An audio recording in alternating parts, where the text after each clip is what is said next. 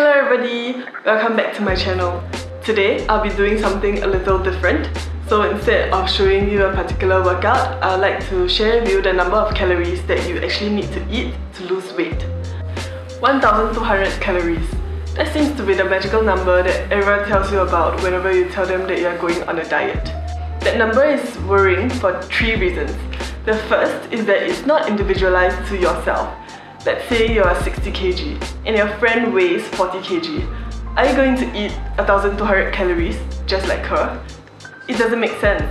The second reason is that you can't get a lot of nutritionally dense foods within that 1200 calories window. So it's not going to be very healthy for you in the long run. And the third and most important reason as to why that number is so worrying is because it's not sustainable. All successful diets need to be adhered to in the long run and it's going to be more like a lifestyle instead of having a specific starting and stopping point. So now that we've established that 1200 calories is not sustainable and that it's not, you know, a magical or holy grail number that you need to stick to, how many calories do you actually need to eat in order to lose weight? So before coming up with the number, we need to first establish that weight loss is only ever possible if you are in a caloric deficit. What is a caloric deficit? It just means that the calories that you eat is lesser than the calories that you output or the calories that you spend. So expanding on that point, we come to a term called maintenance calories. It basically just means the number of calories that you eat in order to maintain at your weight. So basically the equation goes like this. Calories in will be equal to the calories out.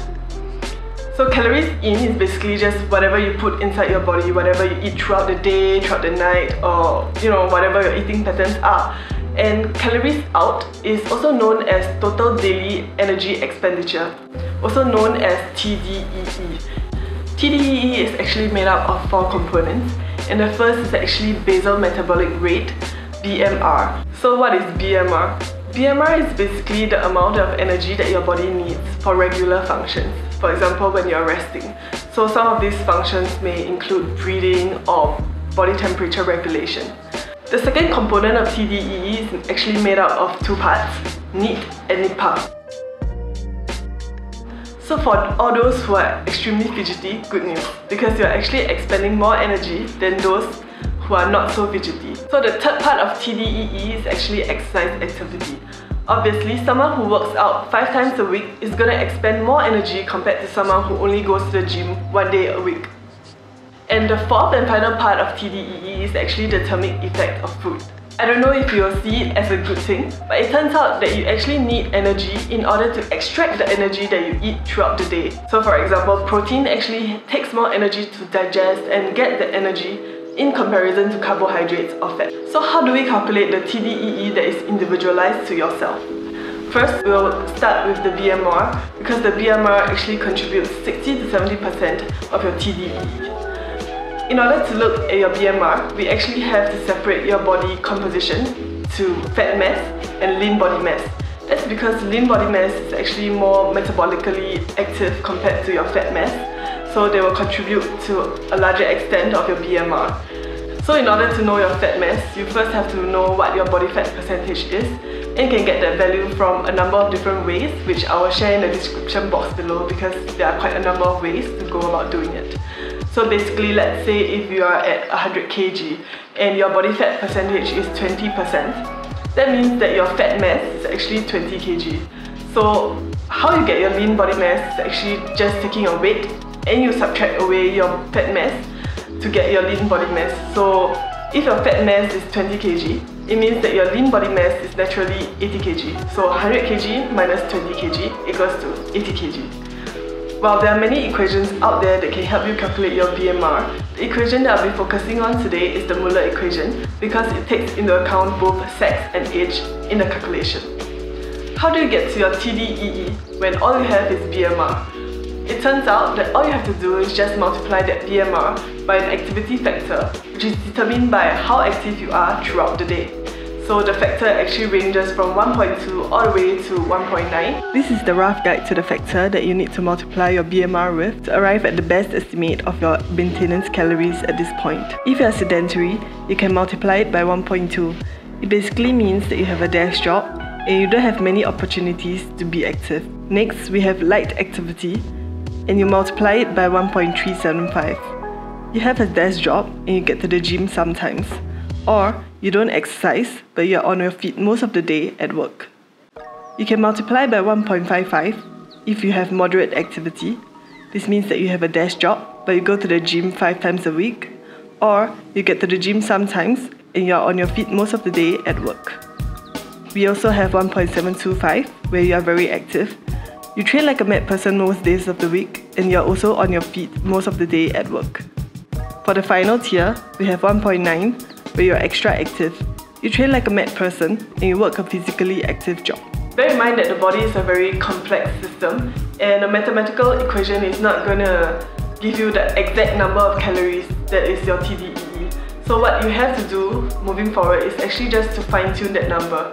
If you have arrived at 2760 calories as your maintenance calories, what you have to do is actually eat 2760 calories moving forward and see whether you lose, maintain or gain weight. If you gain weight, it means that 2760 calories is too much for you. While if you lose weight, it means that you need to eat more in order to maintain your weight.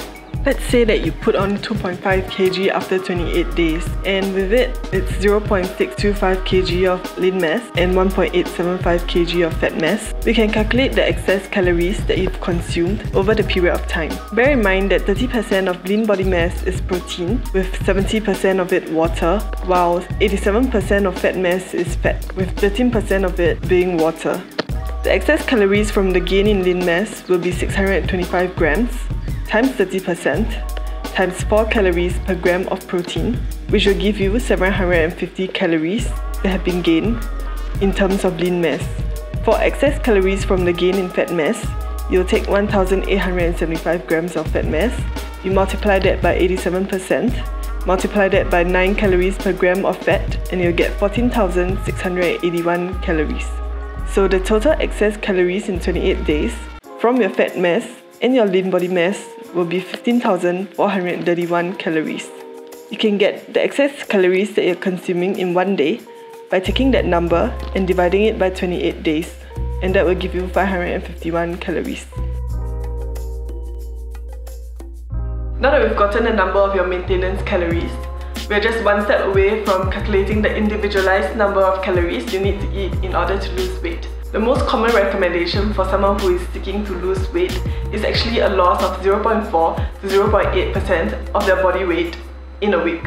So let's say that you're 100 kg now and you'd like to lose 0.6% of your body weight per week. That will make up to be 600 grams per week. When you lose weight, you have to realize that not all of it comes from fat mass. You're also losing some of your lean body mass. While the exact ratio of fat mass to lean body mass loss varies from person to person and from circumstance to circumstance, 80 to 20 serves well enough for a rough guide. This means that you'll lose 480 grams of fat mass and 120 grams of lean body mass. So you can calculate the calories deficit that you need to have in order to have that kind of loss. The calories from your fat mass loss will be 480 grams times 87% times 9 calories per gram of fat and that will give you 3762 calories. The calories from your lean body mass loss will be 120 grams times 30% times 4 calories per gram of protein and that will give you 144 calories. The total amount of calorie deficit that you are required to have over a week will be 3762 calories plus 144 calories